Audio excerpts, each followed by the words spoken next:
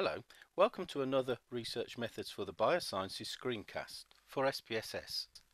This screencast covers section 10.6, Introduction to Parametric ANOVA, including section 10.11, Two-way parametric ANOVA with equal replicates, section 10.12, Tukey's test following a parametric two-way ANOVA, and section 10.13, two-way parametric ANOVA with unequal replicates. This test asks how two categorical variables, term factors, affect a single dependent variable, often called the response variable in statistical packages. The null hypothesis states that the factors have no effect and that all samples belong to the same statistical population. So why not do two one-way ANOVAs? Well, apart from the fact that the more data you have in a test, the better the model the program can produce, the two-way ANOVA allows us to ask if there's any interaction between the factors. That is, do the factors have a greater effect when combined than we might expect from simply summing their individual effects? For example, Table 10.14 gives the fresh weight to two varieties of Cosmos atrosanguineus called Pip and Christopher grown in one of four types of compost, eight weeks post-weaning from a tissue culture environment. The questions we can ask are whether any of the compost promotes superior height growth of the Cosmos variety in general, whether either of these varieties is more successful in making the transition from the tissue culture environment to the greenhouse as measured by height, and finally, do the two varieties do better on different composts? This last question asks if an interaction occurs between the variety and compost type. The two-way ANOVA test implemented by most programs is reliable with samples that have both equal and unequal replicates, as found with the data in table 10.19. Providing, however, the variances are similar, that is, homogeneous. Samples with unequal variances are most likely to occur with samples with unequal replicates. We can test if the variances are homogeneous by doing a version of the F-test, first on the data within the program. See chapter 10 in the book and box 10.7 for further details. If you get a significant result from the ANOVA, you may then wish to work out which of the samples are significantly different from each other. Some programs will give you the option of performing these so-called post hoc tests on the effect of individual factors and the interaction. So let's do the test. I've entered the data from table 10.14 into SPSS.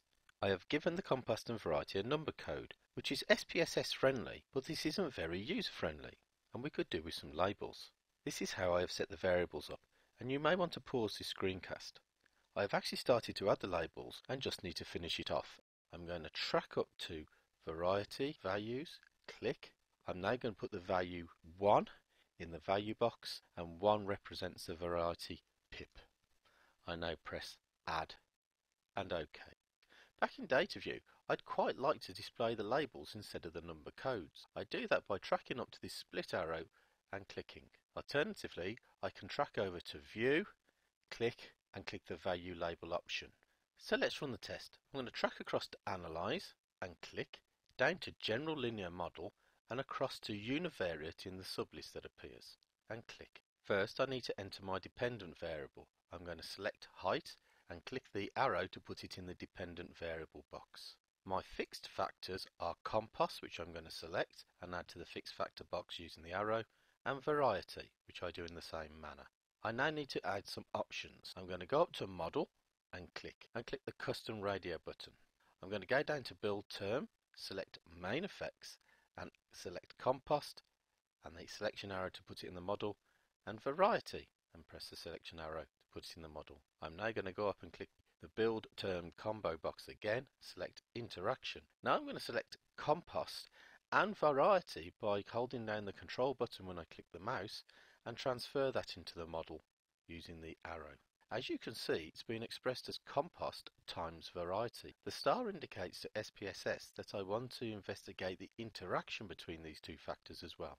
I'm going down to press continue. I now go up to post hoc. I'm going to select compost and transfer it into the post hoc test box by using the selection arrow.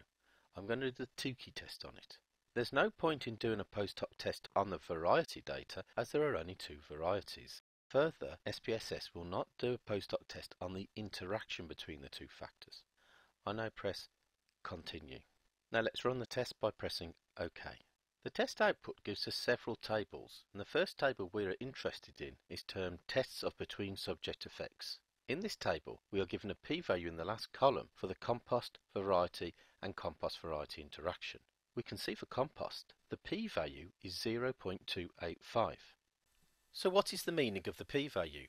A p-value of 1 means we can accept the null hypothesis as true, whereas a p-value of 0 means we can accept the null hypothesis as untrue. As we travel from a p-value of 1 to 0, the transition point between true and untrue is set at 0.05 in the biological sciences.